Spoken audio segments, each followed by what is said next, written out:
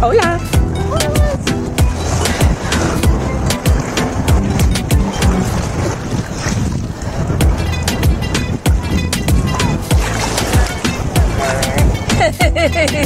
My bestie. She's so funny. She's the witty one of the group.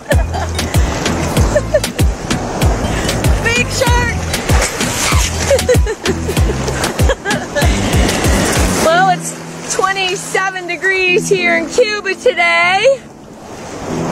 In the beautiful turquoise Atlantic Ocean. All we need is pepper since we got salt.